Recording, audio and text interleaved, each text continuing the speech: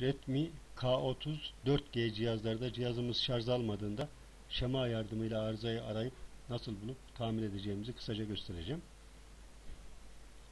Öncelikle şemamızı açıyoruz cihazımıza ait. Buraya Ctrl F yaptıktan sonra V bus yazıyoruz arkadaşlar. Devam edelim.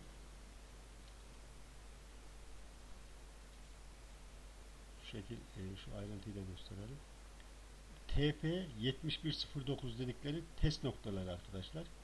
Buradaki 5 voltu kontrol edin diyor. TP 7109. Ben bunları not da alacağım. Çünkü anakart üzerinde bakacağız. Eğer takip ediyorsanız siz de not alın. Devam edelim.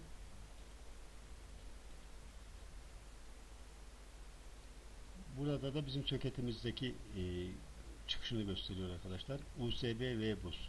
Burada 5 voltumuz olacak. C6507 C6520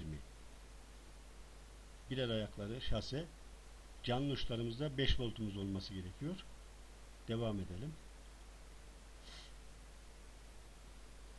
USB V bus buraya kadar geliyor arkadaşlar. Bunun bir ayağında da C5514 C5513 var. Birer ayakları yine şase e, stabilize için koyulmuş bu konostörler. Sabit konostör. Devamında entegreye giriyor. Q5503 Buradan da O çıkış. Burada da e, şöyle diyelim C5510, C5511, C5512'nin ayağında birer ayakları şase zaten şase olmayan ayaklarında 3.6 volt gibi bir değer almamız gerekiyor. Çünkü bataryamıza gidiyor. Burada 5 voltumuz olacak. Entegremizde Q5503. Bir de anakart üzerinde bulalım bu parçaları. Evet. Anakartımız bu. Anakart görün görünümüz. C 6507 demiştik. Yerini. Şu şekil büyütelim. Tekrar şey 6507'miz burada. Biraz daha büyütelim. Ekranımızı. 6520'miz de burada. Az önce devremizde görmüştük.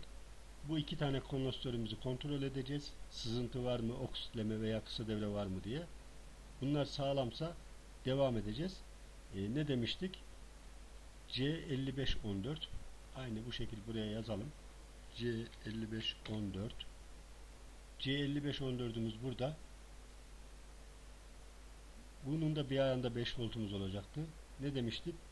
Entegresine Q5503 Q5503 entegremiz de burada arkadaşlar. Sırasıyla bu parçaları kontrol edeceğiz.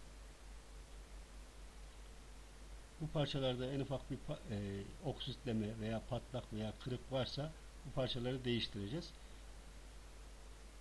Redmi K34G cihazlarda şarj arızası olduğunda bu şekil takip edip bulacağız. Anakartımızı biraz ufaltalım. Yerini tam bulalım. Parçalarımızı. Bu şekil ufalttığımızda şekil yapalım. Biraz daha az büyütelim. Biraz daha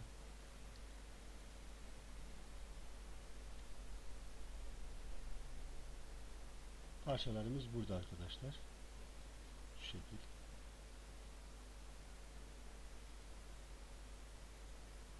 Q5503'ümüz burada.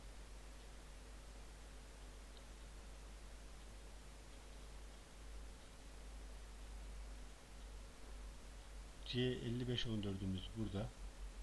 Bu parçaları ve göstermiş olduğum önceki parçaları bir de e, söketimiz vardı. Ona bakalım hemen diğer bölümde. Söketimizde bu C65J jandarma yani J6505 söketimizin ayağında da oksit veya e, kopma olabilir. Bunu da kontrol edeceğiz.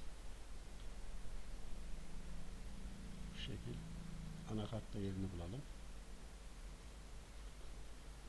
G6505 Soketimizde bu arkadaşlar. Zaten kondansatörlerimizde burada gördüğünüz gibi. Bu şekil bunları kontrol edeceğiz. Redmi K30 4G cihazlarda şarj arızası olduğunda arızayı bu şekilde takip edeceğiz arkadaşlar. Kolay gelsin.